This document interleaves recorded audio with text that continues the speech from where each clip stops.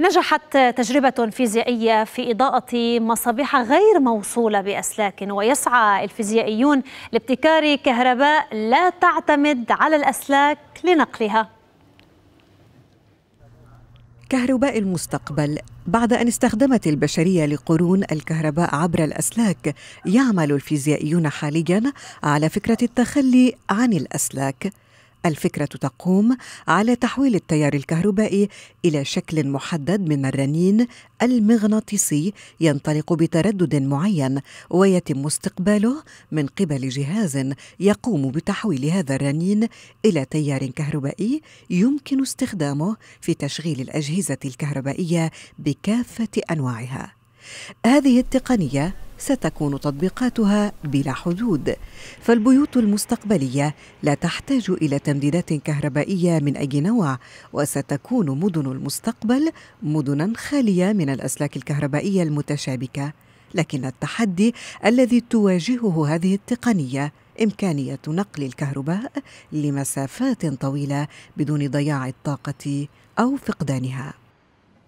معنا في الاستوديو الليلة ضيف التاسعة الدائم مدير البرمجيات الروبوتية في شركة كاتكس سيد إسلام أحمد. إسلام أهلا بك معنا دائما في أهلاً. التاسعة. شكراً. شكراً موضوع جديد أم قديم؟ وإذا كان قديم لماذا لم يتم تطويره؟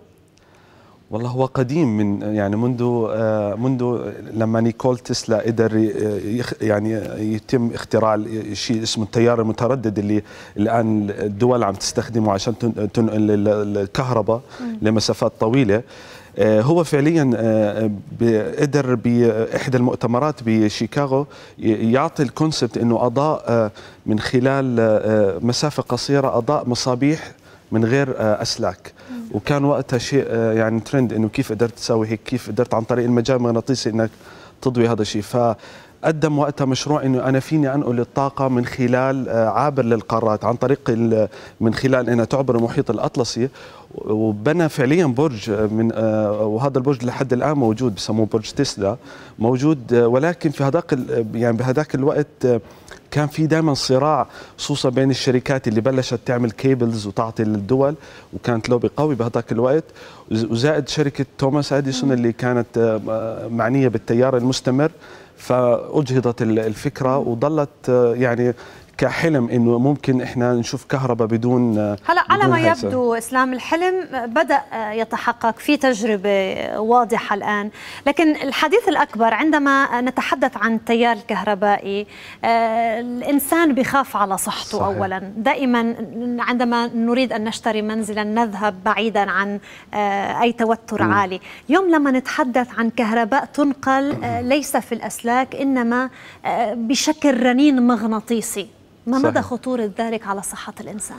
صحيح. هو يعني كان التخوف دائما من موضوع التردد العالي. إنه بيأثر على الإنسان. الفكرة اللي طلعوا فيها مجموعة الفيزيائيين بام اي تي قدروا إنه يستغلوا شيء موجود في الفيزياء موجود في حياتنا آه إنه آه يقدروا يعني ينقلوا الطاقة من خلال تردد أو رنين عن طريق المجال المغناطيسي اللي موجود في الأرض. already إحنا نتعرض له لأنه إحنا already على كوكب الأرض من خلال الأقطاب في مجال مغناطيسي ينتقل دائما. frequency natural 1 موجودة طبيعية. قدروا كيف إنه يقدروا ينقلوا الطاقة بمبدأ موجود اللي هو التردد أو بسموه الرنان أو التردد أو التذبذب الرنيني.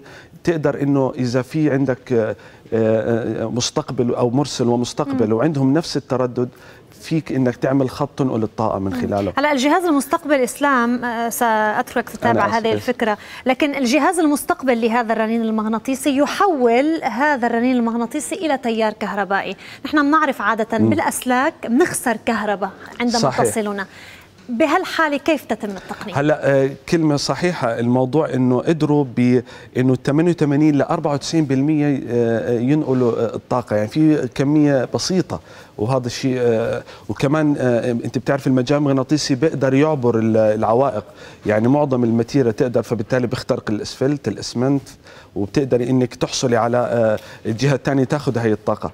هو إذا بدك المبدأ موجود أنت بتتذكري المغنيين الأوبرا لما كان يقدر لما يغني بتردد عالي وقدامه كاسة كاسة زجاج تنكسر. مم. طب كيف حول الصوت لطاقة حركية لدرجة إنه لأنه وصل لدرجة تذبذب ذرات مادة الزجاج فقدر ينقل الطاقة من خلال لأنه الاثنين صاروا على نفس التذبذب فقدر إنه ذرات الزجاج تتحرك وهي مكانها ويصير عملية التكسير.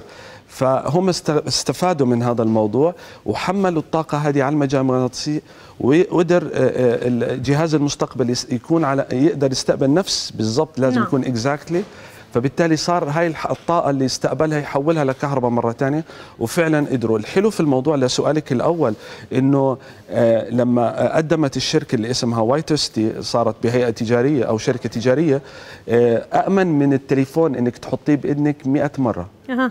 يعني أكثر امانا من من ذبذبه التليفون وأكثر امانا من صور الطبق المحوري ال MRI ب 1000 مرة. إسلام ف... حتى ما ينتهي الوقت وما أسألك السؤال ما الرؤية المستقبلية لهذه التقنية؟ كيف ستبدو منازلنا؟ كيف ستبدو مدننا؟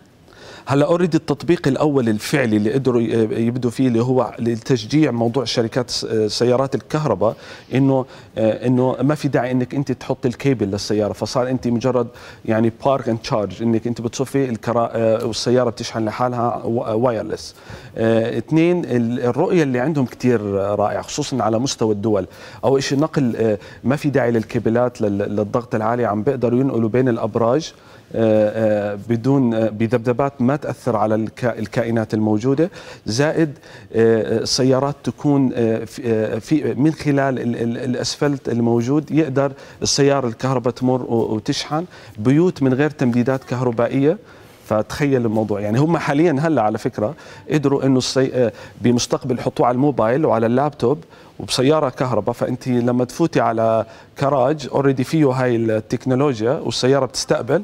فالسيارة بتشحن واللابتوب والموبايل, والموبايل. كله من خلال آه، بذبذبة أكيد السيد. عالم ذكي شكرا شكرا آه، جزيلا دائما لمشاركتك مدير البرمجيات الروبوتية في شركة كاتك سيد إسلام أحمد العفو شكرا